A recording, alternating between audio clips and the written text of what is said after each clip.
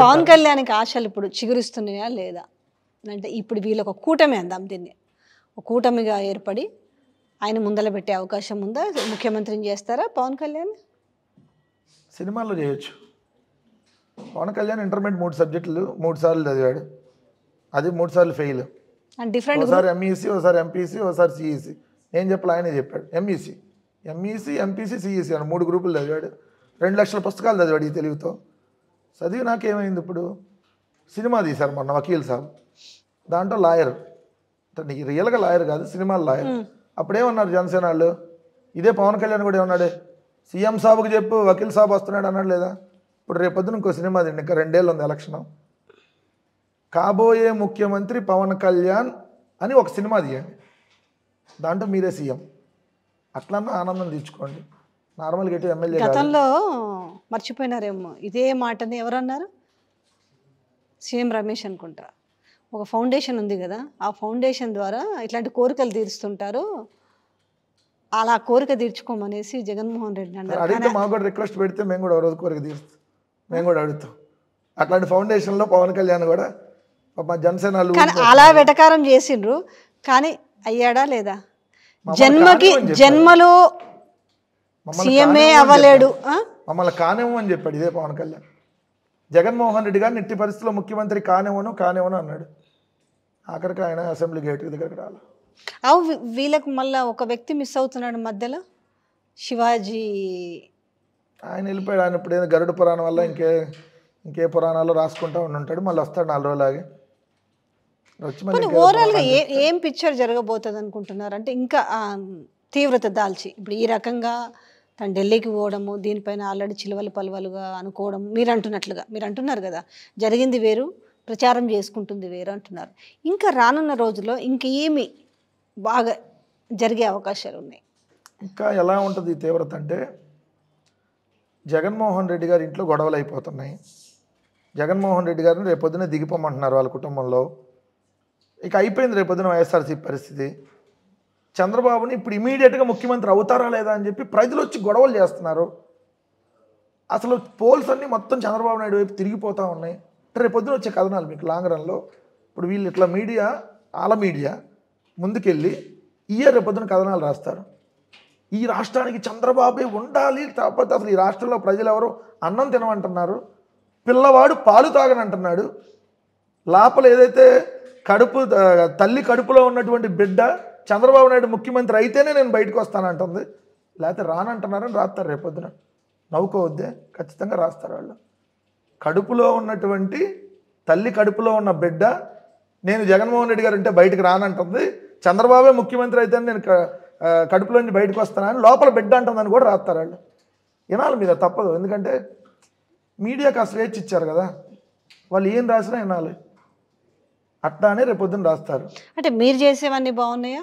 మన ఉమామహేశ్వరి ఒక మరణం విషయంలో లక్ష్మీ పార్వతి తోటి ప్రెస్ మీట్ పెట్టించి అది చంద్రబాబే చేశాడు అదొక సూసైడ్ నోట్ ఉండింది అది ఫేక్ అది మాయం చేశారని ఒక ఫేక్ ఏదో బయటకు తీసుకొచ్చి ఇవన్నీ చేయడం ఎంతవరకు సమంజసం మరి మీరు? నేను మీరు అన్నారు కాబట్టి ఇప్పుడు ఆ క్వశ్చన్ అడుగుతున్నారు కాబట్టి ఒకటి స్క్రీన్ షాట్ తీసి పెట్టాను మొన్న. ఇదే ఈనాడు పత్రికలో వచ్చింది. తాడు బిగిసి స్వరపేటిక విరగటంతో ఉమామహేశ్వరం మృతి. పోస్ట్ మార్టం నివేదిక అందజేసిన వైద్యులు. జూబ్లీహిల్స్ న్యూస్ టుడే అంటే ఈనాడు. ఇదే వాళ్ళ మీడియా సంస్థల్లో చాలా మీడియా సంస్థల్లో కూడా ఉరి వేసుకొని ఉమామహేశ్వర్ గారు ఆత్మహత్య చేసుకున్నారని రాశారు. చున్నీ వేరు తాడు వేరు కదా? నేను కరెక్ట్గానే మాట్లాడుతున్నాగా? చున్నీ వేరు తాడు వేరు కదా?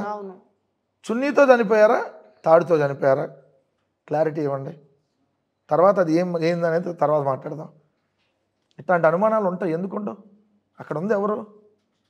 స్వై స్వ- స్వయాన స్వర్గీయ నందమూరి తారక రామారావు గారి కుమార్తె. ఈ దేశంలో అనేక మంది మందిని ప్రధానమంత్రులను చేసి మీరు ఈ స్టూడియోలో కూర్చోడానికి నేను కూర్చొని మాట్లాడటానికి కూడా అవకాశం కల్పించండి చంద్రబాబు నాయుడు. వాళ్ళ మరదలు. అటు చెబుతాడులే చంద్రబాబు నాయుడు అందుకని. లేకపోతే విజయారెడ్డి గారు అట్ట యాంకర్ అయ్యేవాళ్ళు. చంద్రబాబు నాయుడు కూర్చోబెట్టాడు మిమ్మల్ని. లేకపోతే నేను పొలిటికల్లో వచ్చేవాళ్ళం. చంద్రబాబుని ఇన్స్పైర్ వాళ్ళు చెప్తారు కాబట్టి మనం వినాలి తప్పదు. వాళ్ళ మరదలు. అట్లానే పురంధేశ్వర్ గారి సిస్టర్. మరి ఆమె చనిపోయినప్పుడు అనుమానాలు వస్తాయి కదా.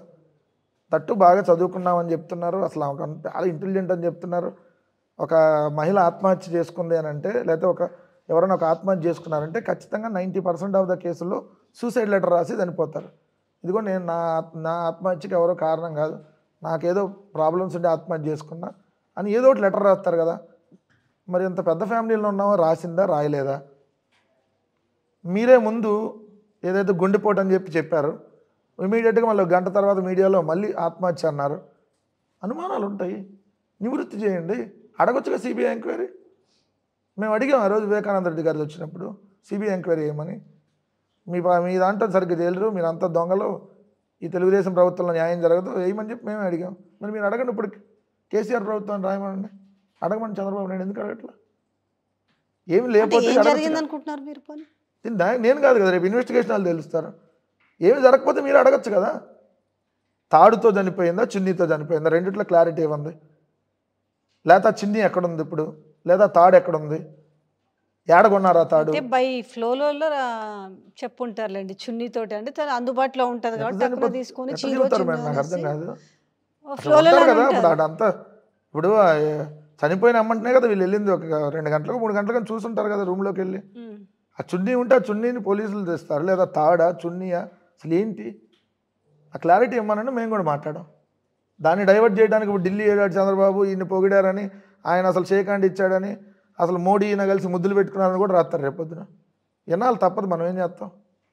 ఎందుకు మీడియా మీడియా అట్లా రాస్తున్నప్పుడు? నువ్వు తప్పు అన్నావు అనుకో.